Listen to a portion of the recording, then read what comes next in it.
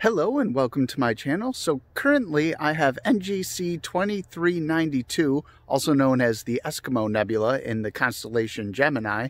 I have that in the eyepiece and let's have a quick look at the telescope and then I'm going to run you through where it is in the sky and where to aim your telescope. Then I'm going to show you the sketch and then I'll show you the final drawing. So stay tuned for that. So there's Gemini way up there.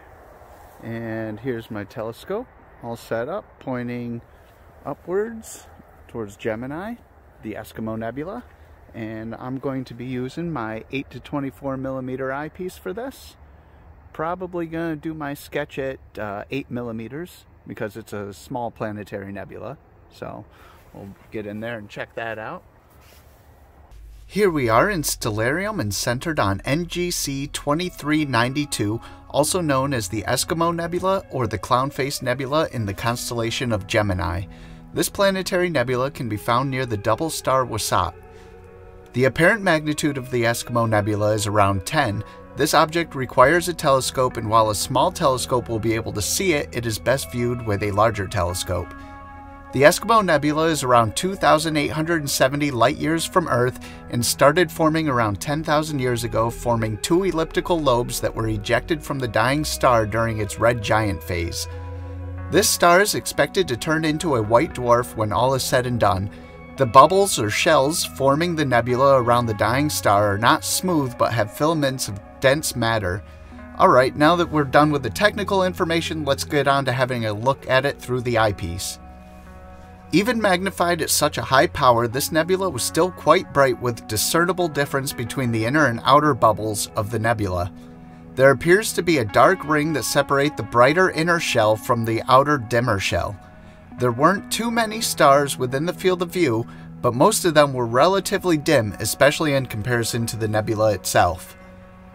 The stars were plotted using an HB pencil, while the nebula was sketched using a 4B and a 6B pencil for the two different bubbles. Each section was then smoothed out a bit with a blending stump, and once I got inside under better lighting I used a kneaded eraser to lift up some of the graphite to show off the dark band separating the inner and outer parts of the nebula.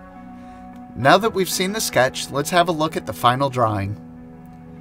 After snapping a picture with my phone and importing into GIMP, I inverted the image, adjusted the brightness a bit, created the eyepiece view, and added labels to the final image.